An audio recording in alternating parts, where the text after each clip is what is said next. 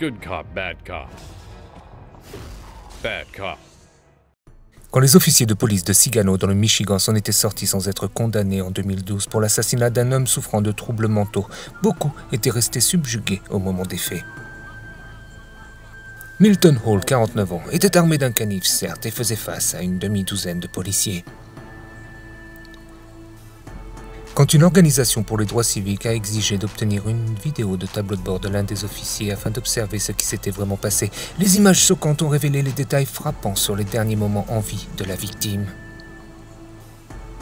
L'audio a été enregistré séparément par un témoin et a été synchronisé avec la vidéo de la police afin d'obtenir un montage complet.